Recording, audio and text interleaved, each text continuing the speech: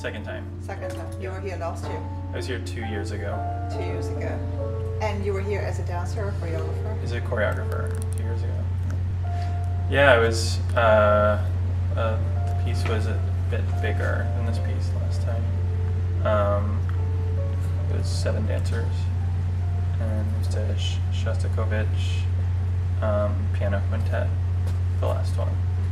So Was that a world premiere as well? yeah. I, you know, I just feel suddenly so proud to be an here. I mean, I've only been here 18 seasons. I'm Yeah. not a native, but you know, just to have your work world premiere, it's pretty amazing. Yeah, well, it's a pretty special place here too. I think. I mean, it's kind of like a gem within the country. I think. Okay. And there's a lot of um, support and like interest for the arts here, so it makes sense. Uh, you've been with the New York City Ballet for how long? Um, I think seven or eight years. As a prince, as a soloist, Soloist. Uh, and then you became. Uh, Well, I've I uh, joined joined as an apprentice and then was there for a while as Right. in the Corps de Ballet and then was promoted to soloist and um, I've been choreographing there, um, kind of publicly for a little over a year. But you know, I worked at um, an institution called the New York Choreographic Institute, Right. which is an which I affiliate. just read about. Yeah, it's an affiliate of New York City Ballet, so it's kind of like a laboratory where um, choreographers can go to work and experiment a bit without the pressures of presenting like a Right. finished piece to the public. So it's kind of like how I got my start, I think. And this year, you're the choreographer in residence. I was there. Um, not this year. It was a year ago. It 2012, ended. 13 in. It or- was 2011, 2012. Oh, okay. Yeah. Yeah. So what does the institute do? Like, um, well, it's what it does is provides choreographers with um, dancers and uh, studio space and time, which are like the three most valuable things you Right. need as a um, aspiring choreographer. Right. And so um, they don't want to influence the output of. So there's no sort of like training that goes into teaching you how to choreograph. It's sort of like they just give you the resources. that's amazing. Yeah, it's great. Um, yeah, it's, you couldn't ask for something better. No. I'm coming from a traditional art world background Mhm. where uh, everything is either object based or you're constantly producing something that needs to be traded or it's it's uh, you have to have something to sell. Mhm. So to have that kind of for a non-tangible heritage Yeah. piece, you Mhm. know, Yeah. uh, it's pretty amazing. Yeah, it's a great experience. And there's even a session where you get to collaborate with a composer on new music and new choreography. So it's very kind of interactive and it's a big uh, learning experience, growing experience. As a choreographer, you've been formally choreographing since about 2009. Am I correct Yeah. in thinking? And this is your what 14th work. Yeah, about that. That's very exciting. Yeah, So do you want to tell us anything about this? about the this, p- This particular piece, yeah, that's Um, premiering sure. this Friday. Yeah, it's set 48 to, hours. it's, About. yeah, it's set to uh, Piano Sonata by Schubert, um, one of his later sonatas, and it's uh, it's um, Sonata Number Twenty. It's an Andantino movement, and um, so it's it's one continuous movement. The dancers uh, are continuous in the same way that um, you know they don't leave the stage, they don't leave the space. So um, it's it's, um, it's four dancers.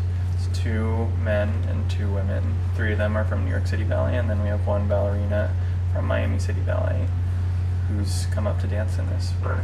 And um, yeah, it's has sort of like a natural, organic flow and ideas of order versus disorder, um, entropy, things like that. So And you were just in Miami earlier this year, right? I was. You yeah. had your I had a premiere in Miami. I, I choreographed a new work for uh, Miami City Ballet in, in collaboration with the New World Symphony. And it was the first time these two organizations have collaborated ever. Um, and they're two exceptional organizations based in Miami. So it was really exciting to kind of be um, kind of uh, meeting point between the two institutions. And it was part of this really exciting evening of just new works in general. They commissioned some new music and new dance, obviously, and um, some uh, video installation stuff. And so there's a lot of young artists participating in this um, evening of new works. Do you work with um, other types of visual artists aside from dancers? You know, uh, getting your inspiration elsewhere aside from traditional choreographic works or Um, dance or. There's the uh, potential to collaborate with visual artists, yes. Um, you mean like for them to add sort of a visual component to a new ballet, Yeah. or? Yeah, there's definitely that. Um, I'll be. I'm, I have a commission at New York City Ballet in 2014. I'll be working with um, uh, an, an artist who's also an architect, so it's an interesting crossover. And he's his name's Karl Jensen Mhm. And it's uh, it's a very exciting piece because it's going to have new music and new scenic design and new choreography. So, Well, where do you get your inspiration from? Like, uh, is it, it- are you as a dance? for my choreography? Yeah, for your choreography. You know, most of it really comes from the music for me. It's like I'll always start with a piece of music, and um, it becomes like uh, sort of like a blueprint for me. Navigates me through the choreography, and um, there's moments where I can um, come up with uh, movement based on the music, and also I, there's moments where I can like add some counterpoint using choreography in relation to the music, and so it, tends to turn into like a bit of uh, um, interplay between these two mediums for me. So I'm very like inspired by the music itself. Right. Have you studied music or do you play any instruments? A little bit, yeah. I can play piano and read music, and that comes in really handy. Yeah, With, um, yeah, with uh, kind of like deciphering the score, and because you know the way musicians read music is not the way that dancers would count the music. Um, becomes very different. So a lot of times, if the How is it different? um, well, the way that a dancer hears music is not the way that a musician reads music. Like, uh, I worked with a score by Martinu, uh, a Czech composer, and it's written the first movement of it's a piece called Sinfonietta La Jolla, and it's written in four four. But if you listen with a naked ear, it sound it doesn't sound like a straightforward four four tempo. It's or a time signature. It, it's a um, sounds much more complex, um, and there's different accents in there, and so I have to go through the score and kind of like rewrite the counts for the way that the dancers hear hear the music. Fascinating. Yeah. Uh, and there's a whole, obviously, discussion, which we're not going to get into about uh, dance documentation and notation and so on and so forth. Which, I mean, a lot of older, um, we just don't have any references to Mhm. them, Mhm. Even through the, the better half of the 20th century, if not the first half of it. Yeah. But what is the trend now, if you just want to talk loosely You about? know, it's. I think it's nearly impossible to um, have a kind of like notation for choreography, just because the um, possibilities for movement on the body is so boundless. It's hard to really kind of um, record that in like some sort of notation form. Um, it would, I mean, and if you tried, it would become very, very detailed and a lot written on like one specific, you know, two second movement, I think. right. Um, It so, depends on the dancer as well.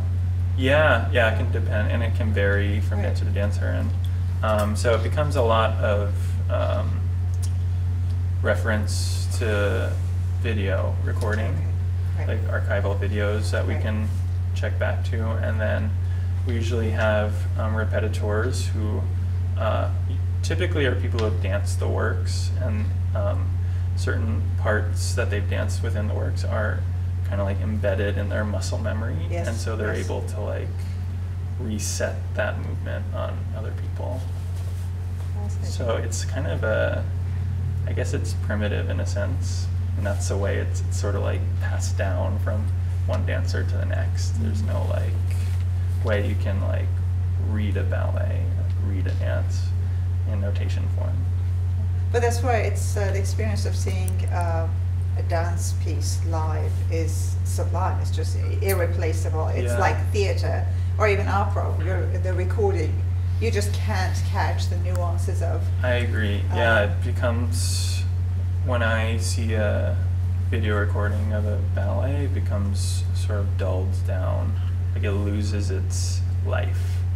Um, there's something missing, something like intangible that's lost. I think when we view dance on video. So to me, I'll always, you know, I would always recommend that people see dance live. Although I am So- extremely fascinated of, of late um, by the idea of film, dance on film. Yeah, well, not, it's there's nothing new. thing. It's different. It is Yeah. very different. If you're making dance But- specific for film, Right. then it's or even adapting. It's like adaptation Mhm. because you know the space of the cinema is so different and so Mhm. broad, and it could potentially yeah. uh, expand the Mhm. space of the dance, the choreography itself.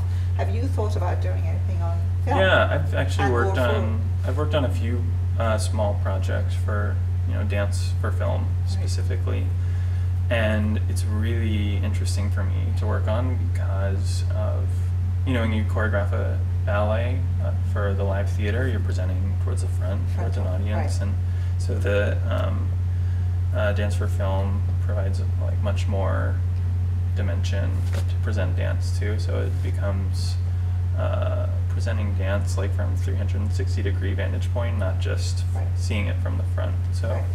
it's kind Actually, of exciting. actually, it could be spherical.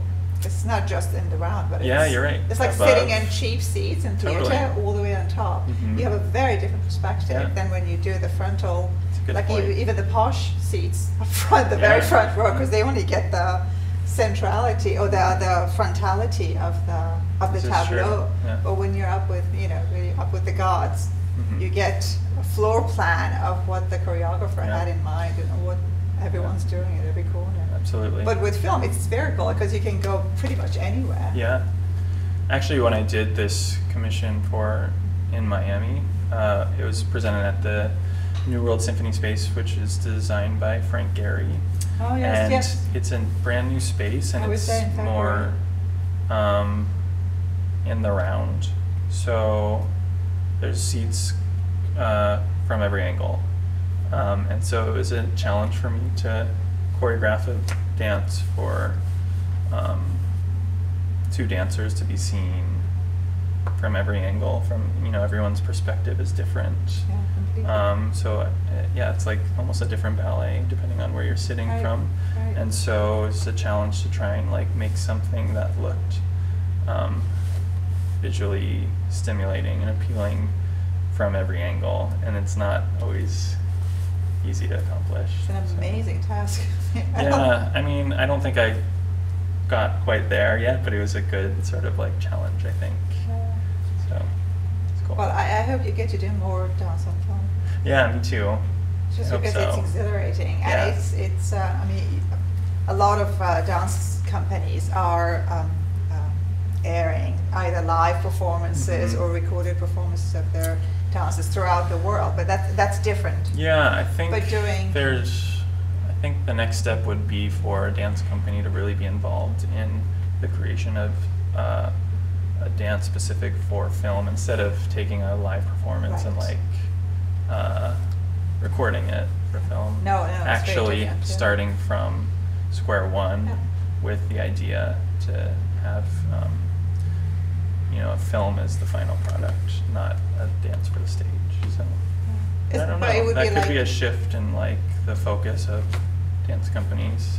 So, we'll see. It would be like adapting a novel for uh, uh, for for the screen. Even Yeah. if you, I mean, if you're even if you're taking traditional Yeah, choreographies or even works that you have choreographed for the stage, Mhm. you know, then you would hire a screenwriter as if, whereas you yourself would do. And that's sort of that actually um, actually something that's part of this Atheneum Dance Festival Mm. is showing this film called Opus Jazz. Yes, I, I had Export. a nice chat with Ellen. Yeah, uh, so that is exactly what you're describing. right, yeah, right. so it's a um, it's a piece from I think the 50s, Yeah. choreographed by Jerome Robbins. Right, 1958. And they took it and they like reinvented it and they shot it all around New York City. So, and it's great. I think. So, Great. Listen, it was great chatting with you. good talking to Very you. nice talking. Yeah. And uh, I look forward to your piece premiering on Friday. Great. Great. Take care. Best Right. of luck. Thank you.